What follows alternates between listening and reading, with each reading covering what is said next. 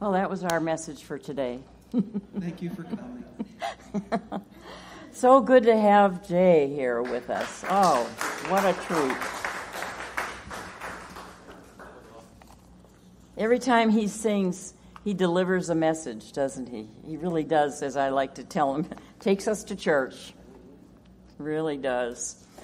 I am the place where God shows up. And you know that I saw that at that concert this week. If you were there, you know what I'm talking about. You might not have made that connection, but uh, it was truly an expression of God showing up by means of the talent and the gifts, the energy, the love, the enthusiasm, the fun, the laughs, the just everything, everything.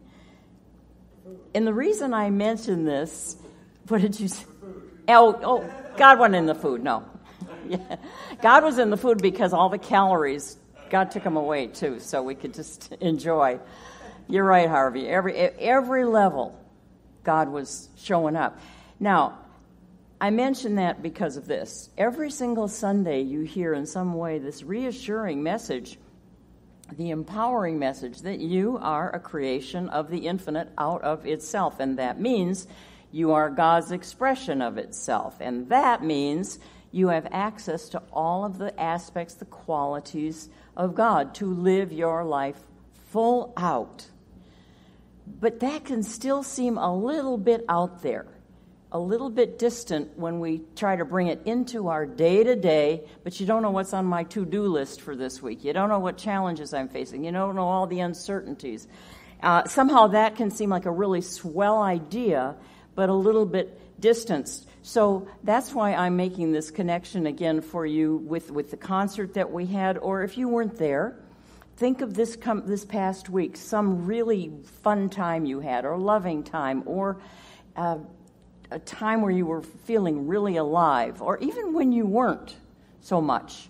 But you were but think of your experiences of this past week and especially the ones where you you were you or you experience someone else really being themselves.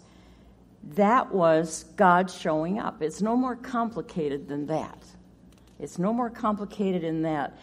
And the beautiful thing about remembering that is that it's always there in us, just bubbling up with one intention for us to live with more aliveness, more vitality, more joy, being exactly who each of us is intended to be. So it isn't some obscure philosophical notion. It's a right down there where the rubber meets the road, boots on the ground. I want you to really take that with you and know that. And so I love that, that you shared that song with us because I am the place where God shows up. You are the place where God shows up. And in my theme for this month, all around Halloween, you would wonder, well, what does that have to do with Halloween? Well, you'll see. You'll see the connection. As I told you on previous Sundays this month, Halloween is always a great time to be reminded of um, the, the, the, other side of fear. You know, it's a time when we celebrate scary and spooky and um, uh, unknowns and all of that stuff that normally in, it would put us into a lather on any other day of the of the month. But when it's Halloween time, it's fun, and the spookier and the scarier and the ickier, the better and we laugh at it. And uh, I, that's really important because remember, our fears, fear, I mean, fear we encounter every single day, and in some way, whether it's collectively or individually. And um, we need perspective. I need perspective on that. And uh, this is certainly Halloween, and it is a 180, and that gives me some perspective. And so our, our sign, as you may have noticed when you come in, says just say boo to your fears. Just boo, be gone. Last Sunday's message on that theme then was What is your scary story? And today we're taking another lesson from Halloween, which is going to be about um, the, the Halloween masks. Got to have masks on Halloween, masks and costumes. I mean, that's just a basic ingredient. And they're scary, or they can be glamorous, or they can be funny, powerful, uh, just anything. Imagination goes wild. If you go into a party store and you see all the masks, you know, I mean, it's, it's just a time to let's just put a mask on and celebrate. And when we put a mask on, one of those masks, we kind of become that character for a while, don't we? We don't think anything of it. I mean, it's just I'm I'm a I'm a witch or a ghost or a movie star or whatever, a Batman or uh, wh- whoever the latest Spider-Man. Um, I'm that person when I have that mask on, and we we just think, well, that that's what a mask is for. Well, here's the thing. One of my colleagues several years ago said something in a talk that I have never forgotten, and I've really appreciated it. He summed it up this way He said, Halloween is a rare time during which we wear our masks in front of us instead of as we usually do inside of us, inside our heads, with all our built up protective ways of relating to others and even to ourselves. Those inside masks, I'm going to repeat that part. He said, inside of us, inside our heads, with all of our built up protective ways of relating to others or even to ourselves. Now, most of the time, we're unaware of those inside masks. So let's, let's think about it today. Let's explore that a little. I want you want to ask yourself three questions. What might be a mask that I'm wearing? Who am I behind that protective mask? And what is the fear that is keeping me behind that mask?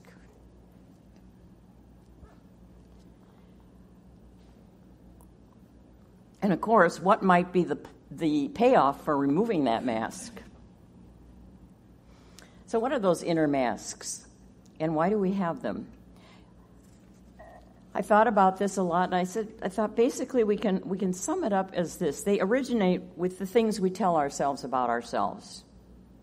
For example, we tell ourselves, if people knew the real me, they wouldn't respect me, or they wouldn't like me, or they wouldn't include me, or you can fill in the, bank, the blanks. I mean, if they really knew the real me.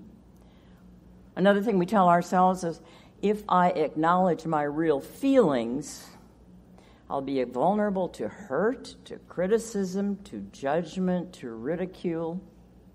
Fill in the blanks. If I acknowledge my real feelings.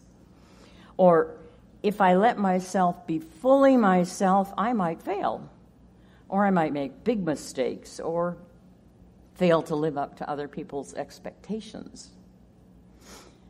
We tell ourselves these things, and over time, because of that, we unwittingly create masks to protect us from what we perceive is a scary world, a scary life, lots of things to be afraid of. Those are protective, or so we think. And when we do that, see, we're not realizing that, as the song says, I am the place where God shows up. Because if I remember that, I don't have to be so frightened and have all of these crazy messages going on inside that are creating defense mechanisms that I don't need. In the song, it said, I am strong enough to bear the burdens that sometimes come, living this thing called life. I am wise enough to make the right decisions. I am not alone, and there's nothing I have to do on my own. I am the place where God shows up. So we have these masks inside, and it seems like they're a solution protecting us. So the question is why are they a problem and not a solution? Well, three words disconnect, distrust, and disempower. They disconnect us from ourselves gradually until we lose touch with who we really are. We're so busy listening to that little voice inside and then making up something so people will never guess, pretty soon we're, we're disconnected from ourselves and we don't even know who we really are. And then they disconnect us from other people. I mean, people can sense it. You can sense it in people when there's, there's this something in between you and that real person. It may be subtle, it may be very obvious. But, you know, most of us don't run around saying, I'm going to be a phony. I mean, we don't, you know, I'm going to be a fake. We don't do that. But, but those masks, those that we've created inside, that persona that hides who I really am, that creates that disconnect, that distancing from other people. Think how you feel when you're at a party and someone you think you know, but they come up in that mask, and, and there's you, you recognize the voice in there, but you, you know it's not. It's they got the mask on, so you don't recognize them. So it's kind of distancing, isn't it? It's fun, so you don't worry about it. But we do that when we have our inner masks in place, and there could be that little question when I'm encountering someone with a Halloween mask on, even, I could be saying, Well, you're saying you who you are. Can I really trust that you are who you're saying you are? And I'm going to take that into our inner masks. They really do lead us to distrust. First of all, obviously, not trusting ourselves. If I don't trust my own inner feelings and faults and whatever I perceive is in there too, if I, if I have, feel like I have to cover them up, then I'm not trusting myself to be without that self created mask. And if that's me, then how can I trust other people? If we can't trust myself, I'm not going to be as trusting of other people. And what happens then when I am distrusting of myself or someone else? It fosters weakness. It does not foster strength. It does not make me feel stronger. It's a sense of, of weakness and uh, it's disempowering. So, these inner masks are disconnecting, they foster distrust, and they're disempowering.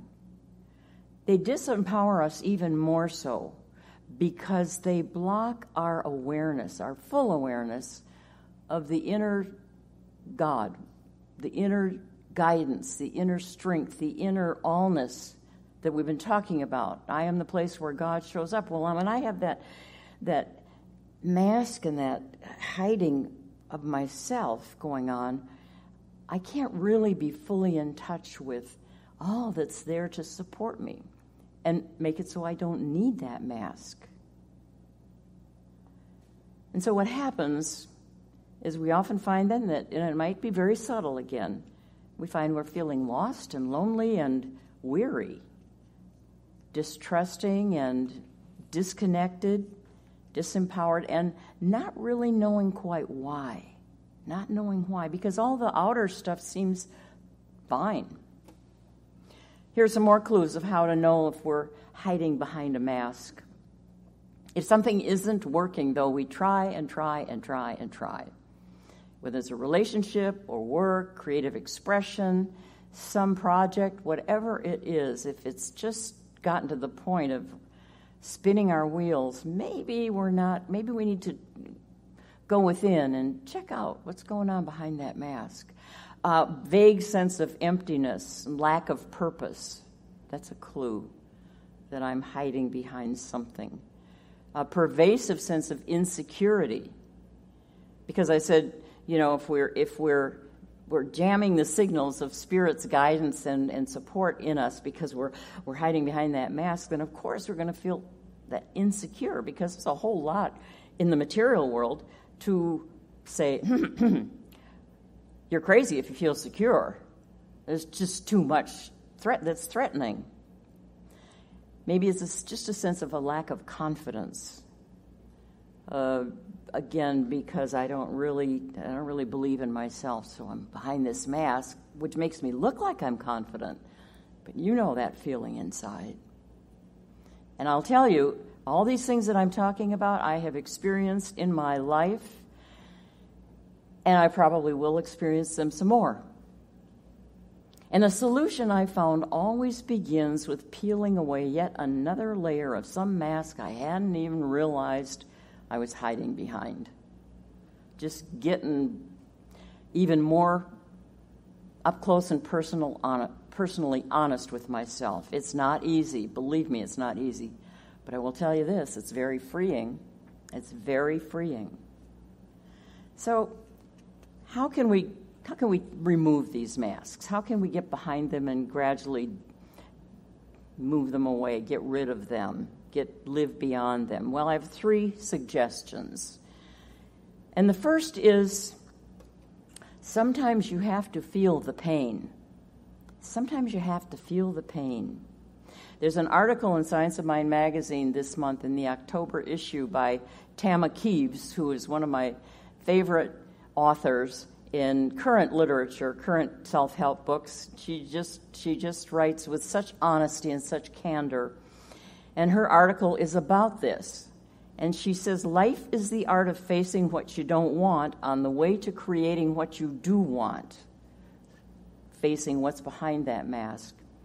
Here's some of what she said, and I invite you to if get that magazine and read it, or if you don't have the mag- if you do have the magazine, read that article because it's so. I, I think anyone could relate to what she talks about.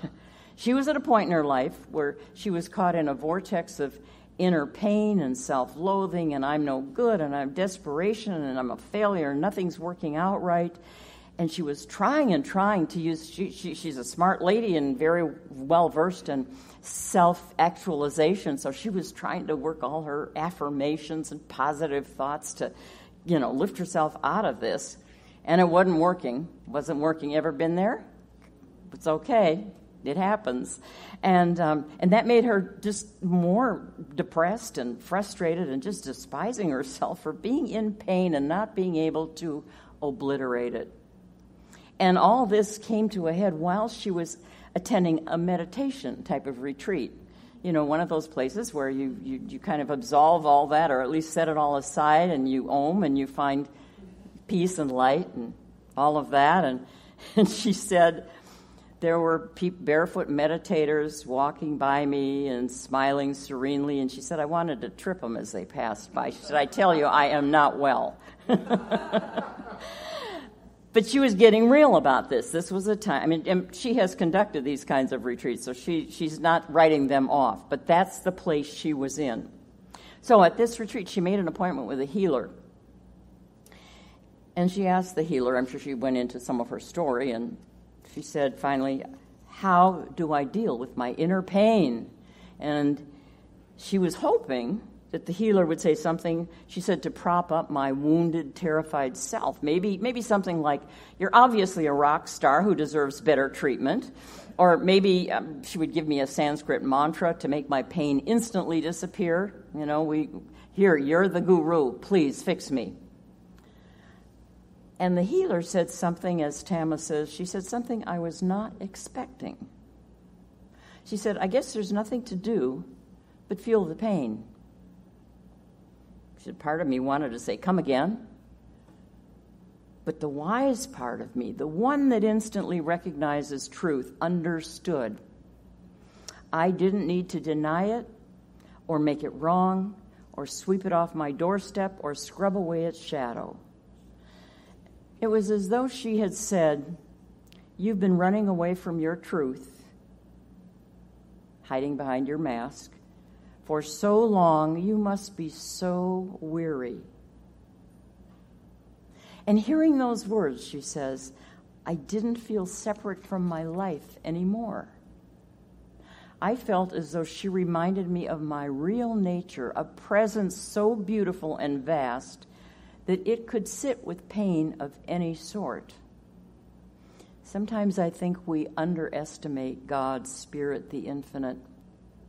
And we talk about how gloriously wonderful our life is when we when we're in the zone and we're we're, we're living that life of of spirit's expression. And we forget that it is bigger than any pain. It is bigger than any dark place we may go in our humanness it can hold it all what a reassuring thing and so she said I felt as though she reminded me of my real nature, my real nature being a presence so beautiful and so vast it could sit with pain of any sort. And she said that pain then opened my heart to myself. It's always that way. She said, I feel the love of the infinite when I feel my own love. I mean, how can we make sense in, when you see it in writing? You say, well, of course. How could I how can I be open to God's love for me when I can't love myself? And we forget the part about loving myself includes feeling the pain. So she said, I feel the love of the infinite when I feel my own love. When I stop running away from any part of myself, I am willing to feel my pain. I am willing to feel my life. So that's one way to approach peeling away the layers of the mask that might be, might be there in front of you, inside of you, but in front. Number two, kind of goes right with that. And it's just be willing to be vulnerable. Be willing to be vulnerable, at least a little bit. Brene Brown, many of you know her writing and her speaking, and she that's one of the main things she talks about is vulnerability. Actually, she talks about it as the gift of vulnerability. And she said if we want clarity, strength, clarity in our purpose, or deeper and more meaningful spiritual lives, vulnerability is the path. Vulnerability is the source of courage, creativity, and connection. Maybe there's a tendency to think that uh, courage is the opposite of vulnerability. But she says, no. Vulnerability is the source of courage and of creativity and of connection. She goes on to say, It is the choice we make to risk showing up and being real, to let our true selves be seen. Vulnerability. And that's another way to take off that mask. Just ask yourself Am I, am I holding back because I'm afraid of being vulnerable? It's a risk, no question, but it's honest and it opens us up to creativity and to possibility. And mostly, remember, the reason we're safe in being vulnerable and in our pain is because we are the place where God shows up. Again, the infinite is infinite, it is way, way, way larger, bigger, more pervasive, and yet more personal than any of the vulnerabilities or the pain that we may be hiding from. So then the third thing is a kind of a summation of that, and it is be true to yourself, not being true to yourself. Well, that's a whole, you know, how do I do that? To thine own self be true. Again, another swell idea, but how do I do that? So I would say question your shoulds. Just question your shoulds. Every time you're struggling with something, especially, wait a minute. Who says I should that? Who says?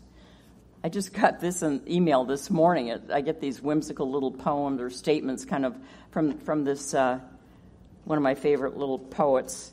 And here's, here's, here's, here's what you can take with you. Just because there's a rule for something doesn't mean it's the only way to do it. It just means that if your way doesn't work, a lot of the people you know who follow all the rules will be more smug than usual. Question your shoulds. That's one of the very easiest ways to be true to, to yourself. Wait a minute, who's saying I should do this? I want to share with you in closing from Thomas Troward, who was a brilliant New Thought writer in the late in the early 1900s, and um, and he says it in a rather lengthy way, and yet he nails it. It's about being yourself, about being true to yourself, and, and about how we can do it because we're the place where God shows up. Here's what he says I want to talk with you about the livingness there is in being yourself. For it surely must be easier to be oneself than to be something or somebody else. Yet, that is what so many are trying to do, he says. The self that, that is their own is not good enough for them, and so they're always trying to go one better than what God has made them, with the consequent, consequence being endless strain and struggle. There is a universal essence of life in and as each one of us. I'm the place, you know the rest. There is a universal essence of life in and as each of us, and all we have to do is allow it to rise to the surface. Just allow it to rise. We do not have to make it rise. It is a fountain of the essence of life, ready to spring up in ourselves, inexhaustible and continuous. That's being true to ourselves and why we can trust being true to ourselves. And Dr. Ernest Holmes, the architect of our philosophy, said it in so many ways, but I like this. It's very short and sweet. He said, It is absolute, adequate, and available. All you have to do is be yourself. So, what's the payoff for getting behind our masks and peeling away the layers? I'm going to say one word freedom. Freedom freedom from, and then all of the things I listed as the clues that we know we're hiding behind them. You go back and think, oh, if I could just be free of that.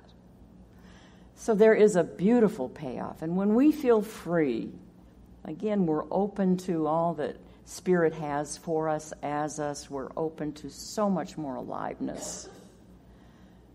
So the thing to do is just get out of the way of all of that that wants to happen and wants to show up that is right behind that mask. So, funny thing, our beautiful Jay is going to anchor this with that song. Just get out of the way and let God do its thing. Namaste.